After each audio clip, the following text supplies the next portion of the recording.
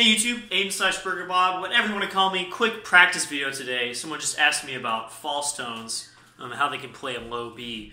Um, and so I was like, hey, why don't I practice false tones? I just want to show you a little thing that I do to work on them.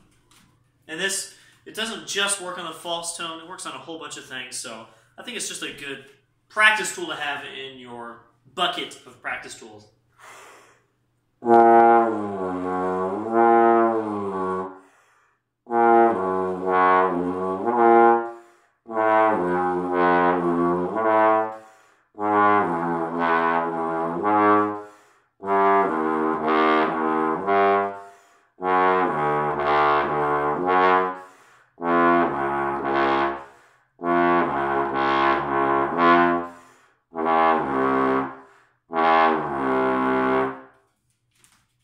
So in this first few, and I'm going to continue doing these with E-pole, um, playing the actual note in the real position, going down a major third without moving the slide, and then moving the slide to the false tone. So on B flat, I go down to G flat. And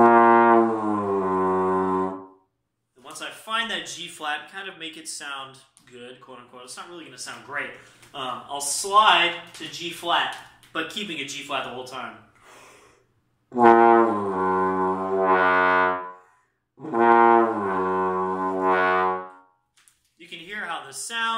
Changes too. It's not perfect by any means. I want it to be perfect.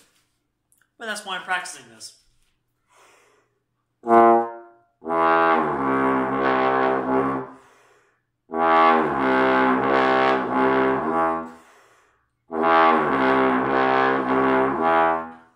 That's the last one I can do is low C. The lower you get, towards the end of the slide when you add the valve, um, kind of the better the false tones get.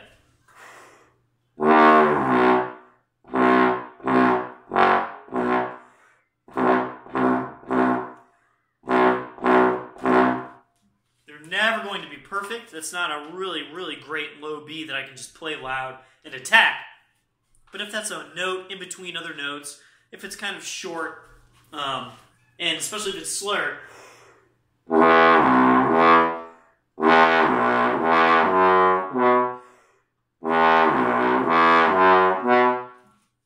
a trombone player will probably know that you're faking it, and not many other people will. I also do this um, another partial up. These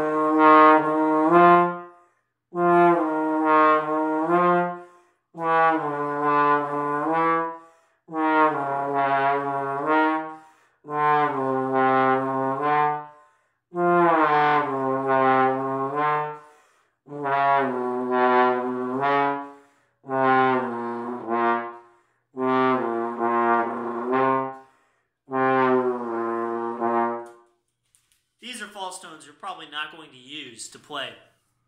I don't ever really need to play a B flat in sixth position or in first with a valve. It's just not something you really need. So um, that's not a big deal. But it's still good to like really play those. And another partial of two.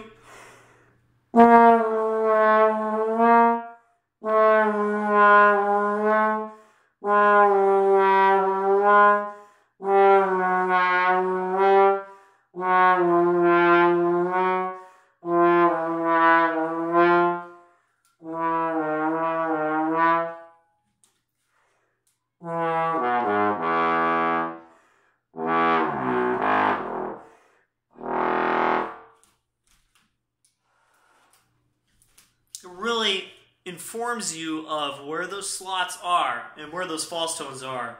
Even if you don't need to use them, like those upper two partials, you're never going to use those, but it really kind of opens you up. It feels really good as like a warm down, kind of a focus back thing. Because um, if you notice my face, I'm really not trying very hard to play into these things.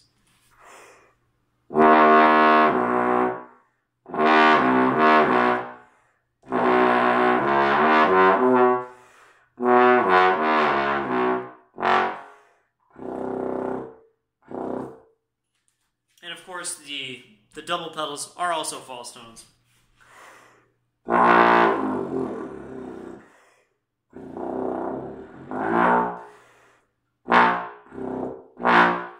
it's just a lot harder to get to because they're a major seventh below the actual position you're in. So there we go, just a little bit of false tone stuff. Um, I'm playing it on the 60H because I actually need them on this. I need C and B pretty often. I